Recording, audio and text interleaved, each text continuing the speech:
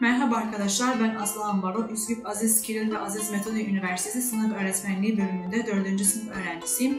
Bugün sizlere Johann van Goethe tarafından okumuş olduğum Genç Werther'in Acıları adlı kitabını tanıtmak istiyorum. Kitabın tanıtımına geçmeden önce yazarı hakkında biraz konuşalım. Johann van Goethe 28 Ağustos 1749 yılında Almanya'da doğmuştur. Alman edebiyatçı ve siyasetçidir. Şiir, drama, hikaye olmak üzere birçok esere imza atmıştır. Bununla birlikte zengin bir içeriğe sahip olan mektup çeşidi önemli edebi eserlerindendir. 1774 yılında Genç Werther'in Acıları adlı eseri ile bütün Avrupa'da ün yapmıştır. Werther işte böyle bir sürecin ilk romanı olarak henüz 25 yaşındaki Goethe'ye Almanca'nın ve Almanya'nın sınırları ötesinde ün, ün kazanmanın kapılarını ardına kadar açmıştır. Kitabın genel konusuna bakacak olursak, Genç Werther'in Acıları Goethe tarafından 1774 yılında yazılmış bir mektup romanıdır.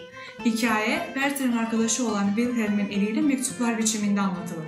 Şehir zorluğundan doğaya, Valheim'e yerleşen Werther, orada tanıştığı bir aile kızı olan Lotte, Lotte'ye aşık olur.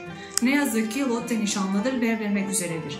Lotte de kayıtsız değildir bu aşka ama Albert ile nişanlıdır ve elinden bir şey gelmezdir. Lotte Albert ile evlense de Werther halen onların yanındadır. Sınırlarını aşmaktan korkan Lotte, Werther'e Werther'e görüşmemelerini söyler. Werther de bu duruma canı çok yanarak Lotte'ye şöyle bir mektup yazar. Bak Lotte, bana ölümün sarhoşunu tattıracak olan o soğuk kadehi elime alıyorum. Onu bana sen uzatıyorsun, ben de alıyorum. Hayatımın bütün istekleri yerine geldi. Ölümün çelikten kapısını vurmak öylesine çetin ki, diyerek silahlar dolu saat 12'yi vuruyor. Alın yazısı bu, önüne geçilmez. Elveda Lotte, elveda sözleriyle yaşamına son vermiştir. Genç Werther'in hukuk işlerinde çalışan bir gencin nişanlı bir kıza karşı olan ve hiç ulaşamayacağı imkansız aşkını anlattığını söylemiştik. Aşık olduğu Lotte isimli kız aslında Goethe'nin hukuk stajyeri olarak çalıştığı yıllarda yaşamış olan Charlotte'yi temsil etmekte. Bu romanda da imkansız bir aşkın bir insanı nasıl mahvettiğini, nasıl bir boşluğa çektiğini ve ona ulaşamadığı her andaki çaresizliğini anlatan bir eserdir. Dünya klasiklerini okumak insana farklı bir bakış açısı kazandırıyor.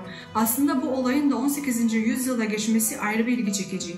Hikayede ise genç bir adamın nişanlı bir kıza olan imkansız aşkı yüzünden nasıl intihar ettiğini okuyoruz.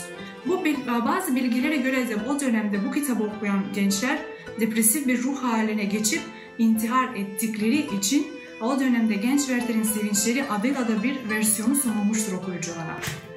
Werther kendine bu derece zarar vermesi biz okurların gözünde bir nevi zayıflıktır. Hem dinen hem de ahlak yönünde. Aslında biz gençler güçlü karakterleri örnek almamız gerek.